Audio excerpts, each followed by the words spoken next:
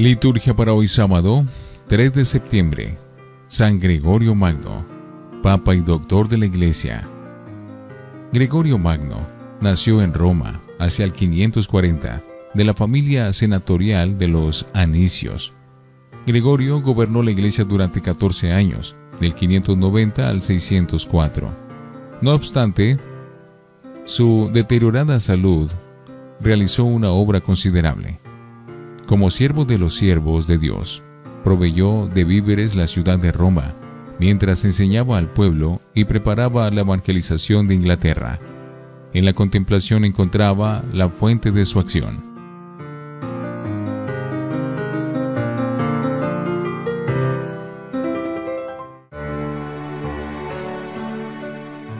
Antífona. El bienaventurado Gregorio, elevado a la cátedra de Pedro, buscaba siempre la belleza del Señor y vivía en la inmensa gracia de su amor. Oremos.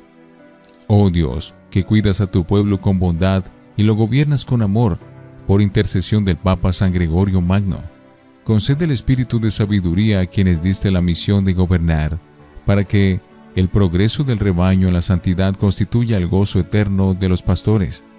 Por nuestro Señor Jesucristo, tu Hijo. Primera lectura. De la primera carta del apóstol San Pablo a los Corintios, capítulo 4, versículos 6b al 15. Hermanos, en el caso de Apolo y de mí, aprendan aquello de no saltarse el reglamento y no se engrían en uno a costa del otro. A ver, ¿quién te hace tan importante? ¿Tienes algo que no haya recibido? Y si lo ha recibido, ¿a qué tanto orgullo como si nadie te lo hubiera dado? Ya tienen todo lo que ansiaban, ya son ricos, han conseguido un eh, reino sin nosotros. ¿Qué más quiera yo? Así reinaremos juntos. Por lo que veo, a nosotros los apóstoles, Dios nos coloca a los últimos. Parecemos condenados a muerte, dados en espectáculo público para ángeles y hombres. Nosotros, unos necios por Cristo, ustedes, qué sensatos en Cristo. Nosotros débiles, ustedes fuertes, ustedes célebres, nosotros despreciados. Hasta ahora hemos pasado hambre y sed y falta de ropa. Recibimos bofetadas. No tenemos domicilio. Nos agotamos trabajando con nuestras propias manos. Nos insultan y les deseamos bendiciones. Nos persiguen y aguantamos. Nos calumnian y respondemos con buenos modos. Nos tratan como a la basura del mundo, el desecho de la humanidad y así hasta el día de hoy. No les escribo esto para avergonzarlos, sino para hacerles recapacitar, porque los quiero como a hijos, porque tendrán mil tutores en Cristo, pero padres no tienen muchos. Por medio del Evangelio soy yo quien los ha engendrado para Cristo Jesús. Palabra de Dios. Te alabamos, Señor.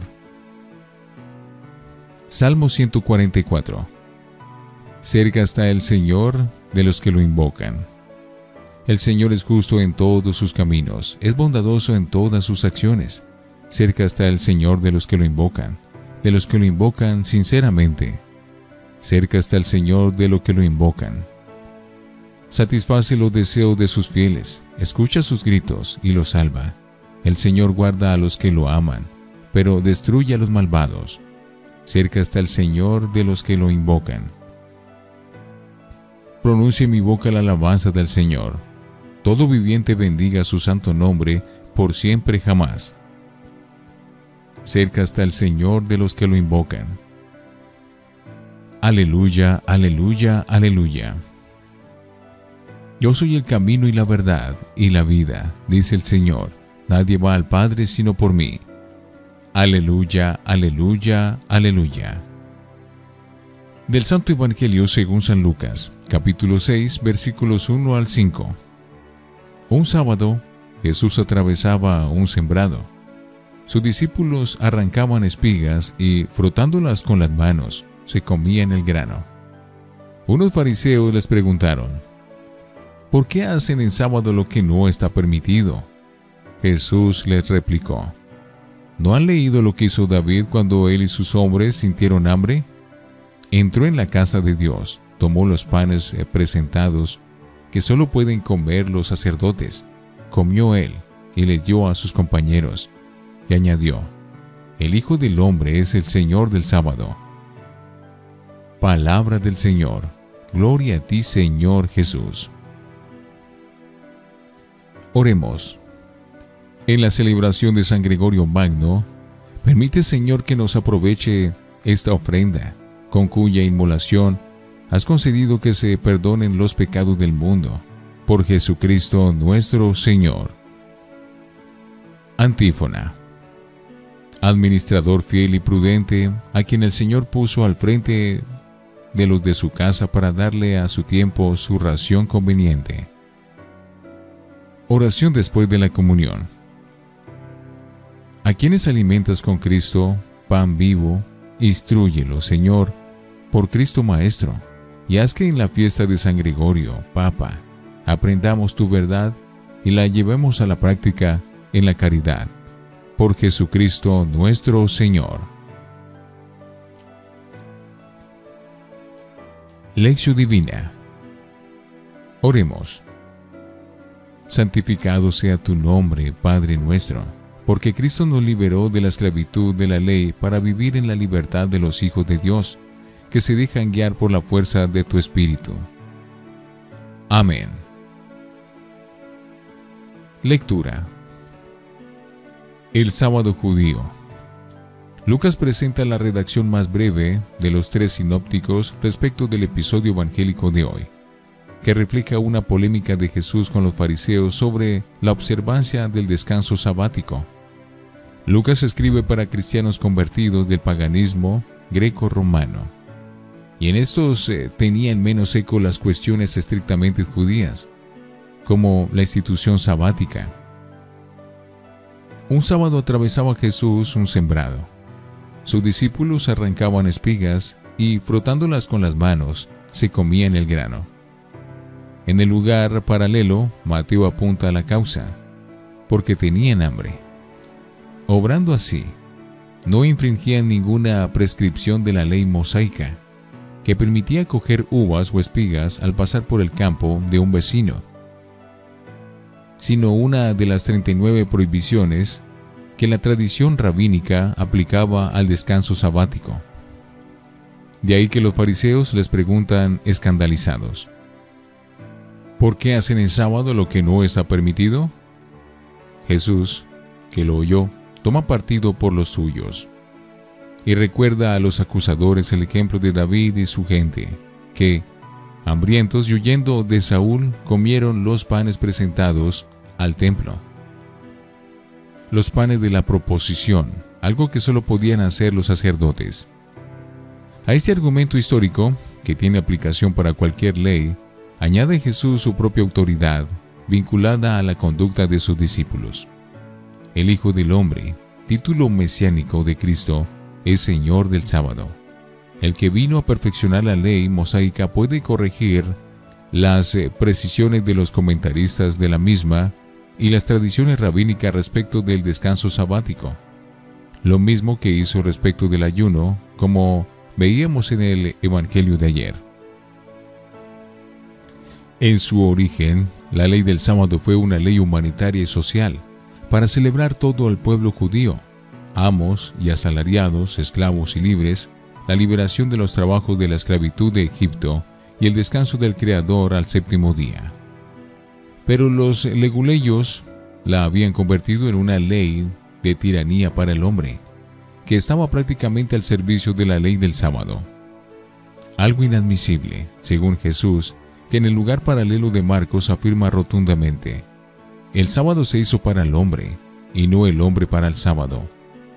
Sin duda, esto sonó a los puritanos como una blasfemia, una razón más para la condena capital que pronunciarán contra Jesús.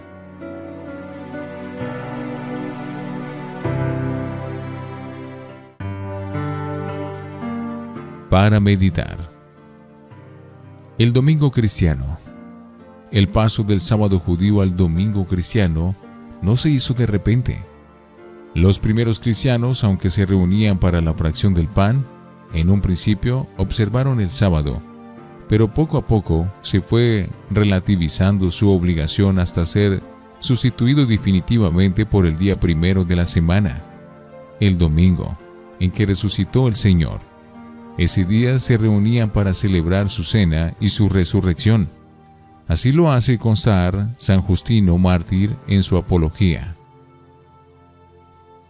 El domingo cristiano no es pues una mera transposición del sábado judío, pero el peligro que nos ronda a los cristianos como a los fariseos del tiempo de Jesús es el legalismo que ve en la santificación del día del Señor tan solo una obligación y no una necesidad vital de expresar y compartir la fe en comunidad mediante el culto y la alabanza a Dios. Porque también para el cristiano el domingo o el fin de semana es un memorial de la liberación definitiva, gracias a la resurrección de Jesucristo en ese día como vencedor del pecado y de la muerte. La celebración del fin de semana en cristiano supone una liberación y una oportunidad. Liberado de la servidumbre del trabajo, podemos realizarnos humanos y cristianamente, conviviendo con aquellos que amamos o que nos necesitan, fomentando la cultura y el ocio reparador y creativo, y dedicando parte de nuestro tiempo al culto. Por desgracia, muchos entienden el descanso dominical como un cheque en blanco para el consumismo, el vicio y la orgía. Pero no se hizo el hombre para el fin de semana, sino el fin de semana para el hombre. Ser católico no se reduce a ser una persona que va a misa los domingos y deja desatendido el resto de los valores de la vida. La fe cristiana no sacraliza parcelas estancas y reductos de tiempo, sino que es fe para todo el tiempo y lugar.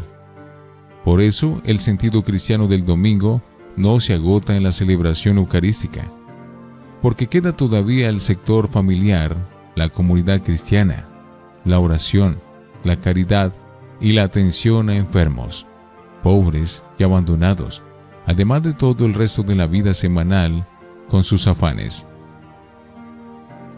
Reflexionemos.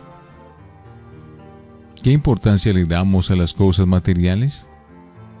¿Nos apegamos con facilidad a normas, horarios, tradiciones que impiden el libre desarrollo de la persona? Oremos. Concédenos vivir nuestra fe en todo tiempo y lugar, para que, santificado tu día en el culto en la caridad, liberados en la servidumbre del trabajo y del pecado, podamos celebrar contigo tu eterno día de fiesta. Amén.